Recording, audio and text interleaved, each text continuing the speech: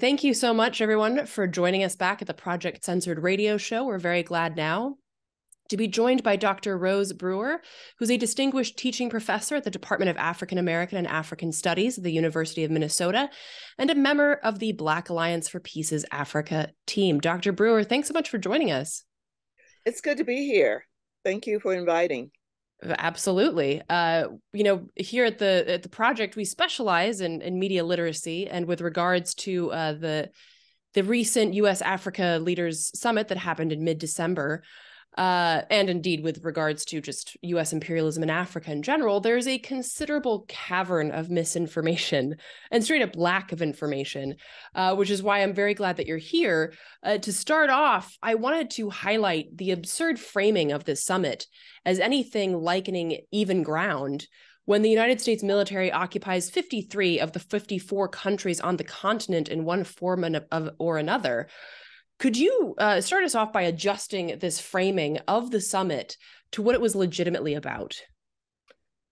That's a very important uh, question, and your lead in is significant. Um, I am certain that uh, the whole history of US meddling in Africa is not well understood, but it's a long and deep and miserable one. And how dare them frame this gathering with those words with not a peep about the long history of colonialism, neo-colonialism, imperialism uh, by the US, by uh, its allies in Europe, by NATO. It's incredible uh, in, in terms of the willingness to uh, obfuscate and to uh, really erase something that is going on into the present time. So I guess you could say it's just um, egoism, uh, don't care, um, hubris, whatever you want to call it. It's not the truth.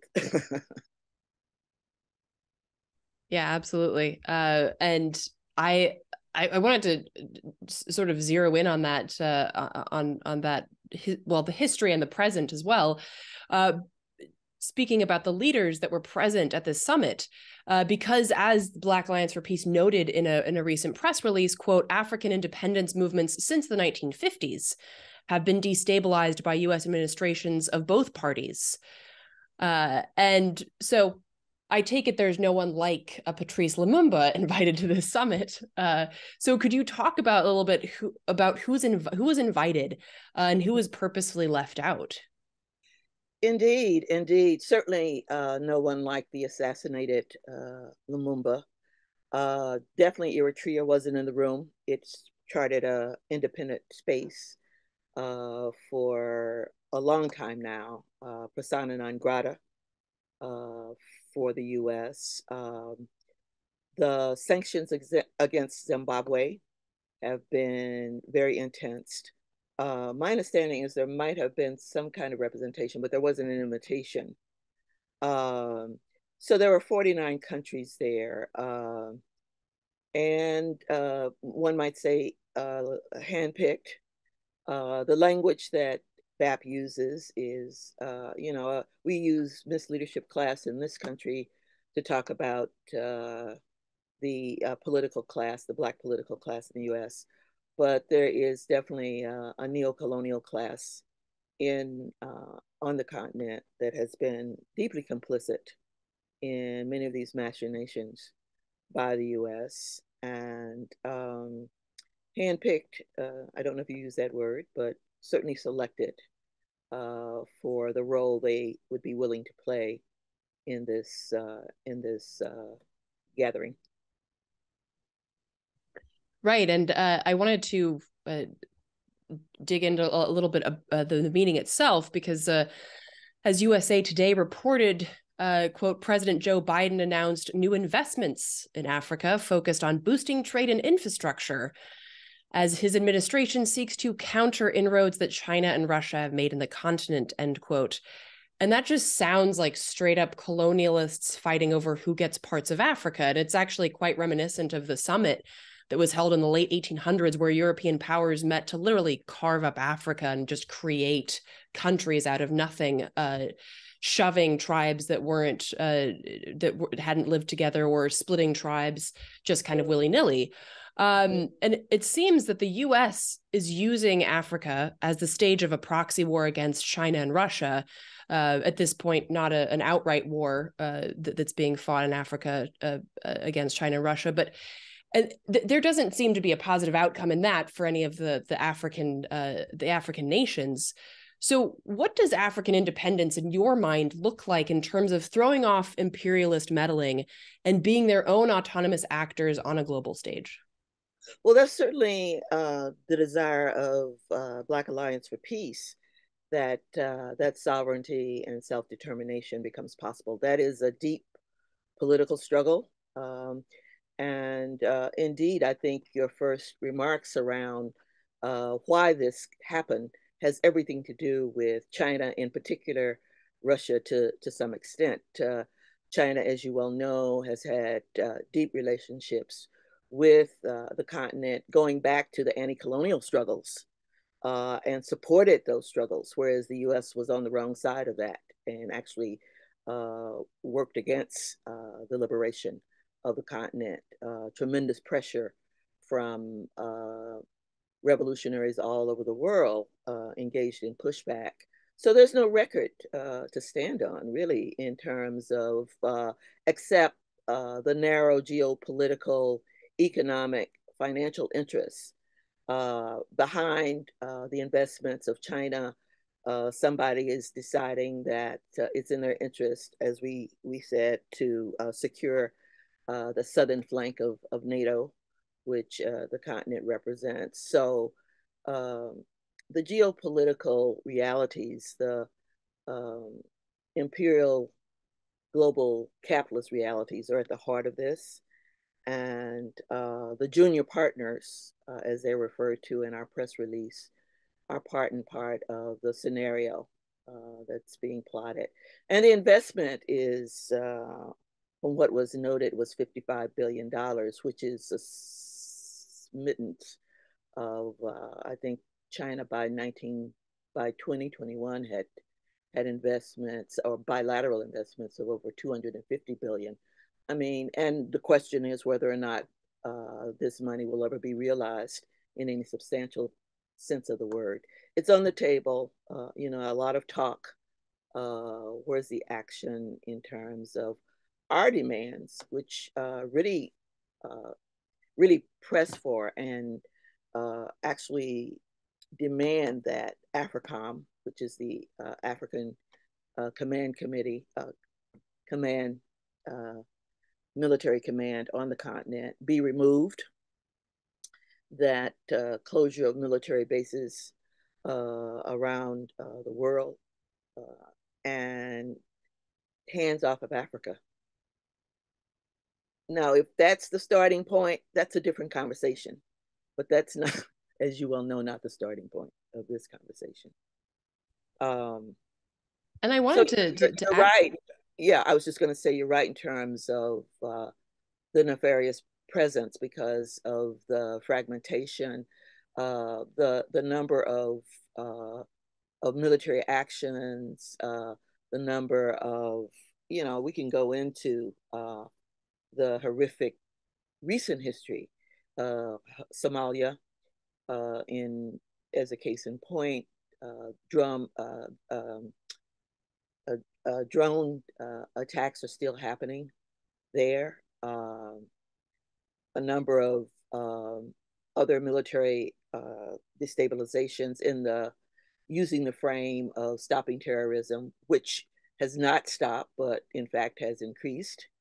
Um, so, you know, we can go deep into the long history, uh, you know, the the decades, the centuries long history, and bring it into the present time. And uh, that's the context in which um, we're trying to raise awareness around what's actually behind this and prepare for a resistance to it uh, with a, a, special eye on the Congressional Black Caucus which has uh, sponsored uh, by one of its members, uh, Gregory Meeks, House Bill 7311 called Countering Malign Russian Activities in, in Africa. So there are all kinds of machinations that are going on in this context. Absolutely, and I, would like to circle back to the the Black Caucus in a moment, but I want it because you mentioned AFRICOM, and I know that this is something that BAP focuses a, a lot of energy on and I'd like to uh, I'd like to hear your comments about how these two things uh, these two things collide the the military aspect and then the of course the capitalist aspect of you know investments as if there are no strings attached. Can you talk a little bit about like what part does AFRICOM play in all this? Well, AFRICOM is is central. Um, the history uh, began around 2007 uh, with the idea that a military presence should be on the continent. It was uh, solidified in 2008.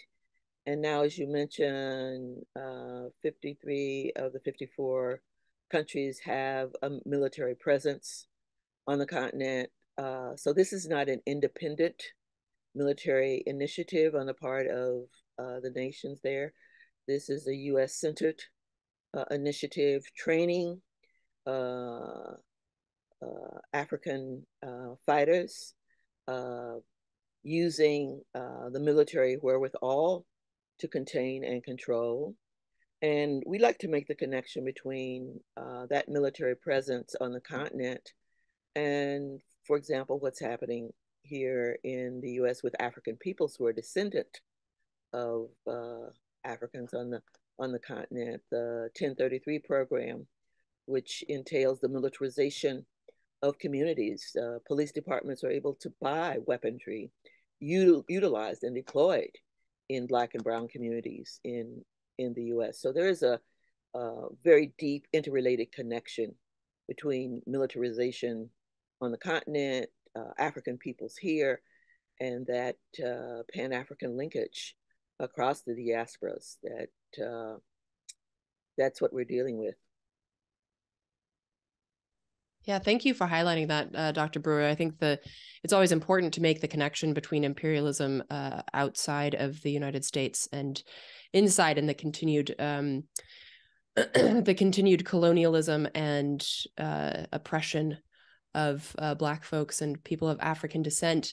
And I wanted to, since you also mentioned the the Black Caucus and what's going on there, I'd I'd like to hear your thoughts on what you what you expect and what you feel that you can push folks in Congress uh, to do with regards to AFRICOM and with with regards to African independence. Well, remember the the week uh, mid December of uh, the summit, uh, Black Alliance for Peace uh, had a week long set of activities, certainly political education, awareness, but there were protests, uh, resistance to uh, the frame, as well as to the hardcore implications of, uh, of that gathering. And complicit in all of this, uh, wining and dining, and what might be called side deals and other kinds of machinations were going on.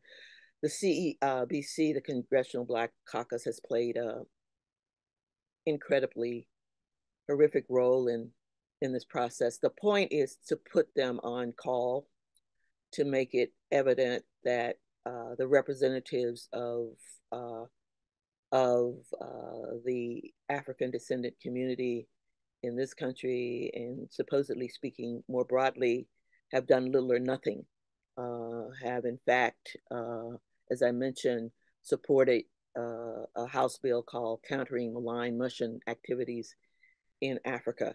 So the demand from BAP is to, uh, of course, oppose the uh, Africa Command, AFRICOM, and to conduct hearings on Africans, AFRICOM's impact on the African continent with full participation of members of US and African civil society.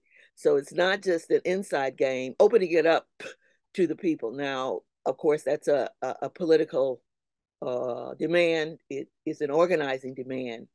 Uh, but we, we know that people on the ground on the continent want something very different, and uh, as well as uh, people in this society who are aware of uh, the impact of this. So very explicit uh, kinds of demands. Closure of military bases, uh, eliminating 1033, um, and the complete withdrawal of U.S. forces uh, in AFRICOM. So, yeah. and and could you could you uh, speak a little bit more about this House bill? What is? I mean, it sounds of course absurd, uh, but what is entailed in this bill? Well, you know, you you have to look at uh, the history recently, the last, ten months, with um, the politicization uh, that's going on around who and what Russia, uh, the Russian Federation represents. And um, on the continent, youth in particular, and others who have been very critical of the US position in Ukraine have definitely uh, lifted up uh, support for withdrawal and peace talks. And this, of course, and a number voted against even having uh, U.S. support of the war. So you know the the the politics of this go into that second wave of competition between uh, Russia and China. It's it's just a play to uh, politicize. Um, also, uh, there's a group called the Wagner Group uh, that's underpinning some of this. Uh, it's a Russian private entity that has been on the continent. Uh, and uh, that's a layer of the propaganda that's being entailed uh, in this particular uh, House bill. So it's all of a, of a whole in terms of uh, the political framing that this is not good for Africa. That was, I'm assuming, a part of the con- conversation that went on at at the summit, as well as uh, the face of the black face of imperialism, uh, not only uh, those who are part of uh, the CBC, but also uh, Lloyd Austin, uh, Austin, who is the um, Secretary of Defense, who he, as well as Biden, frame not only the conferences, you know, uh, developing the relationships, the cordial relationships between the U.S. and the continent, but also uh, some stuff around democracy. And uh, Biden has articulated several billion dollars to ensure free and democratic elections. Can you imagine that coming out of the lips of this country after what has been happened here. I, I mean, I mean, I would. It's even deeper than hypocrisy. It's just, it's. Anyway, I, I don't know if I got into all of the aspects of it that you were interested in hearing about. Yeah, absolutely. And and anytime uh, a U.S. president says the words democracy or freedom, I a, a little part of my soul gags, and um, I mean, it's just it's it's disgusting. It's absolutely horrific, considering not just that the US supports like 75% of the world's dictators, but then goes out of its way to ensure that democratically elected leaders are killed or at the very least removed. well, I mean, that goes back to our earlier point around uh, the malign nature uh, of the history of this country on the continent when uh, the Soviet Union was supporting and, and China was supporting liberation struggles. Uh, the CIA was murdering uh, Lumumba.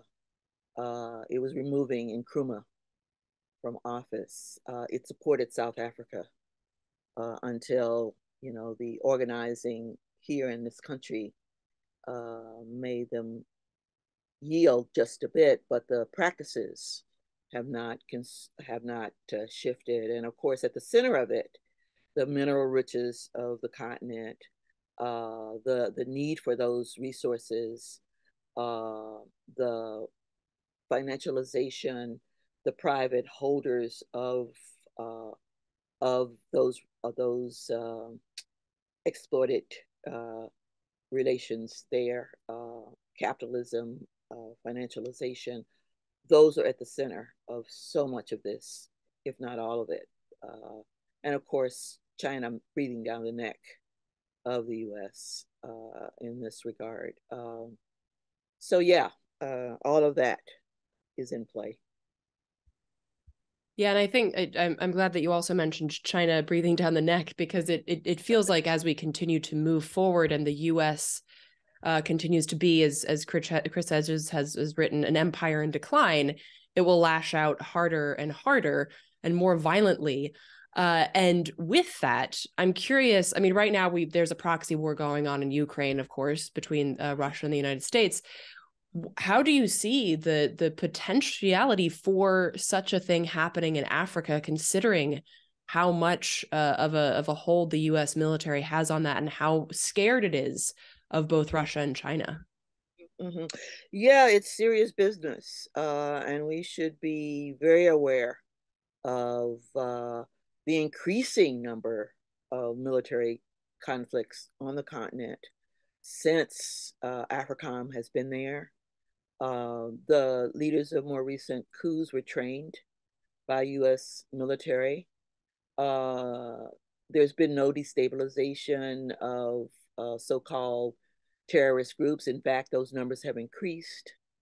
And uh, you know, uh, we make um, we make connections to activists on the ground on the continent who are absolutely uh, committed to removing uh, that military presence because it is quite dangerous in the way that you've talked about it. And I, I definitely want to lift up uh, the organizing and the political work that's going on on the continent. So we can talk about the 49 leaders who were here, but they're dealing with uh, a young population, a resistive population who absolutely is against uh, the neo-colonial machinations and how to uh, deal with that is an ongoing issue because that group of youth and other organizations that have fought for decades are still there and will continue to resist. You know, our uh, point of connection is to make sure we're listening to uh, the voices on the ground, connecting with those, and ensuring that uh, the African diaspora here uh, has a Pan African sensibility about the need for unity and connection. Uh, what's happening there has implications for what's happening here, and vice versa. Yeah, absolutely. Uh, and and Dr. Brewer, with that, I, I wanted to wrap up by asking, how do you feel that folks can best organize with that in mind uh, with with that listening to the folks on the ground in Africa and building that solidarity and those connections and networks for sure uh, make sure that people have uh, access to uh, the many materials and documents that uh, BAP has produced uh, informing raising awareness and I don't know if I mentioned the website, but it's Black Alliance for Peace. That's one word.com. And uh, all of the materials, some of which I've referenced in our conversation, are available. Um, join an organization that has uh, that kind of political sensibility. Um, and um, making sure that the so-called elected representatives are held accountable. Uh, and that, of course, requires an awareness and understanding of the role they're playing in keeping the system intact in the way it is. You know, once upon a time, under uh, old white supremacy, uh, the faces of it were were white. Now the faces can be any color, carrying out the the the role of the empire and of course um, that's a whole nother conversation about how that operates and works but information education uh, getting involved uh, certainly perhaps joining BAP uh, but um, our work is just you know beginning uh, in terms of the kind of organizing and the connections that have to be made. It's a protracted struggle. There's no doubt about it. Yeah, there. I, I can't remember who said it, but they said that there's no there there's no kind of uh, one and done winning against the forces of imperialism and colonialism. It is a it is an ongoing struggle. Um, and uh, I also appreciate you uplifting the the the contrast to old white supremacy because something that I've been that's been bothering me a lot recently is how people say, "Oh, well, you know, Zelensky can't be fascist; he's Jewish," and I'm like, "Wow, oh. okay." you know, as as a Jew myself, let me tell you, there are a lot of fascist Jews, and just look at Israel. So, you know, I mean, this is a part of the opening of the minds thing uh, that. Well, anyway, you you said it. yeah, but it is, uh, and I and this is why these conversations are so important. Um, and the work that the BAP does is so important because the programming that we receive in schools and even just in you know community discourses in the United States is very much like you know US good uh you know those leaders that it topples in Africa or South America must be bad because the US wouldn't ever you know? well it's you know that kind of simplistic uh malicious framing and we're fighting even greater battle uh, battle here in terms of uh, you know white nationalism which is banning books, which uh, you know uh, has distorted even greater than what is usual the history, and uh, so there's that internal fight as well as the one that we've been talking about uh, internationally. And the best of the Black radical revolutionary tradition has always been internationalist, and that certainly is something that we want to uh, make patently clear that uh, you can't disconnect uh, what's happening here from what's happening globally, and especially uh, for those of us who are descendants of uh, Africa, making those connections is absolutely imperative. Yeah, absolutely. Thank you so much, Dr. Brewer. Uh, Brewer, is there anything else that you'd like to highlight that I may have missed in our conversation? Well, no, I think you've uh, lifted up uh, very critical points. Uh, keep an eye on uh, what's happening post uh, this uh, this summit, um, and stay connected to the work on the ground. Would be the two things I would emphasize. Okay, well, thank you so much again, Dr. Brewer. I appreciate you taking the time. All right, thank you.